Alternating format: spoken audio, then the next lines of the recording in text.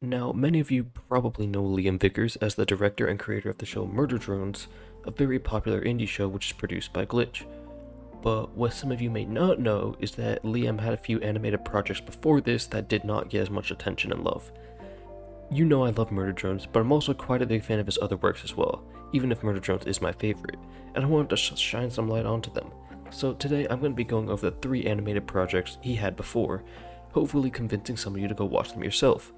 Quick disclaimer, I will not be talking about Scary Storytime with Liam, his other channel before Liam Vickers Animation, where he did a lot of, as the name implies, scary stories. I have yet to really check this out, but I heard it's really good, so I might later. This video will only be covering the Liam Vickers Animation channel, just thought I'd mention that.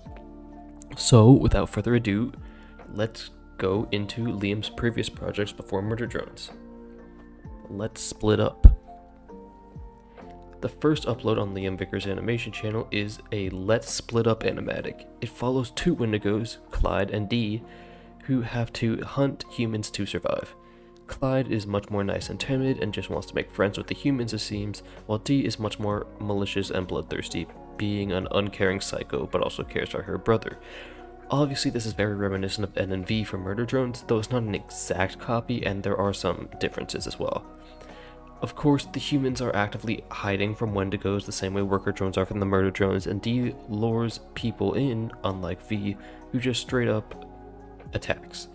Obviously, there's no J or Uzi equivalent, so the topic could still work. They're also similar in the way that N and V, being worker drones before, they were also humans before they became Wendigos after eating flesh for the first time. D was also apparently not always bloodthirsty, similar to how V, was. However, something that's different between Clyde and N is Clyde was apparently very evil and bloodthirsty before becoming a Wendigo, so that's something that would have been very interesting to look at. I've heard this was supposed to be a fully animated pilot from an unnamed animation company, but for some reason it was unfortunately cancelled. Liam on his website has a sequence from this unfinished pilot, though it has no voice acting. That being said, there are some dubs on YouTube if you want to go check them out. Liam has said he does not intend to finish this, though he may clean up some more sequences in the future. This is sad, but I get it. Things happen and you can't always have it go your way. Seems Let's Split Up was met with this unfortunate fate and will not see the light of day for a full pilot as much as I wish it would. Because honestly, out of all of them before Murder Drones, this one is the most underrated. It doesn't get enough love because it's mostly just an animatic sequence, but the ideas and characters remind me of Murder Drones while obviously having tons of unique differences between them, not just in characters, but the show in general. Obviously, it's possible someone will pick it up one day and do it, but I highly doubt it, Unless Split Up will most likely be sidelined in conversations of Liam Vickers' Animation's works before Murder Drones. Hey, before I got into the next one, I just wanted to remind everyone that if they are enjoying the video so far to like and subscribe, it would mean a lot to me if you did. Now, enjoy the rest of the video. Cliffside. His next major upload was Cliffside, a show following an outlaw named Waylon, his partner in crime Joe, and a spider lady named Cordy. Not including Murder Drones, this is one of his works to get recognized the most, and many people fell in love with the western theme and characters, specifically Cordy has gotten a lot of love and attention for being an obsessive, hyperactive spider woman. Also, out of the three before Murder Drones, this is by far the highest animation quality, and I believe I remember Liam saying that this was a test to show people what he could do if he had the funding. There are creatures like Yanis, I think that's how you pronounce it. They're probably gone unless they pull a J and come back. Then there's Death itself, which I think is really sick and probably my favorite character because they're just unique and I, they're the most interesting to me. But the series was discontinued, I think. From what I can tell, it was being pitched around to have a full season but never came to fruition, which is sad because you know uh, it was too ambitious for him to just be doing it. I think he said it took years to do, but I could be wrong about that. And that's where it stands now. But I have seen him say stuff like it's possible he could bring it back. I don't know, it's hard to keep up with the stuff that Liam says sometimes. So take that with a grain of salt. Whatever. Point is, it's probably discontinued, but it's still got a lot of love over the years, so who knows. He's made some other character designs, which you can find in his update video, and I assume they're canon because he made them? Dunno. Anyways, Cliffside of course got lots of support and people loved it, especially Cordy, And out of all the ones on here, it has the most content you can find on it.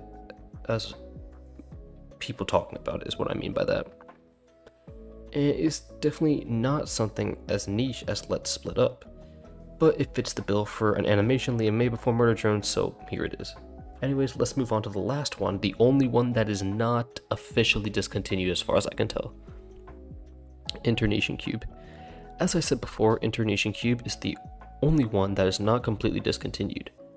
More put on hold.